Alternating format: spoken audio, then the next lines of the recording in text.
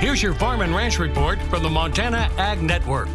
Hi, everybody. It's time for your Farm and Ranch news. Well, today finds us in Kansas City at the National Association of Farm Broadcasting Convention, where it's a great opportunity for farm broadcasters like Lane Nordlund and I to get together and have the chance to meet up with newsmakers representing the different agricultural segments across America, one of which is Clay Burtrum from Stillwater, Oklahoma, the chair of the Federation of State Beef Councils. And gosh, what a crazy place to run into you here at uh, in America's heartland, Clay. And I've certainly you know, we want to talk a little about what's going on with the Federation of State Beef Councils, and let's just kind of kick things off talking about the connection between you guys and the Beef Checkoff program itself.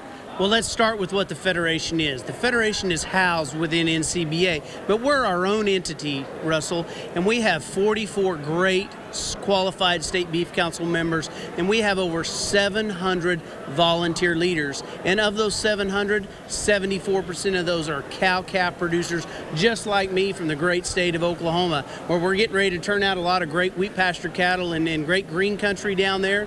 And we have a lot of volunteer leaders who decide how that checkoff dollar is spent each year. Well, of course, you and I have talked before about one of the big buzzwords in the U.S. beef cattle industry and the agriculture industry as a whole, and that's sustainability.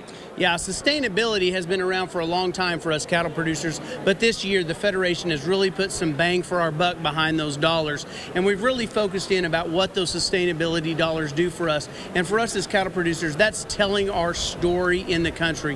What are we doing out there? From EQIP pro programs to rotational grazing, you know, all the way down to my kids and telling their story to their kids and who what they're doing in the in the colleges and the universities, Russell. You talked about that younger generation and even a few of us like us, the older generation, talk about what you guys are doing on social media. You know, that's a big thing today. Social media, Instagram, Facebook, Twitter, and everything going on from the Gen Zers that we just had a big release on Time Magazine, all the way down to a professional farming magazine. We reached 25.7 million consumers in just a small time frame of what we're doing with sustainability and what the year 2030 looks like for some of these young producers. And of course, that is some excellent news for all you beef checkoff investors out there, like those back in our home country in the Northern Plains in Rocky Mountain West. Stay with us.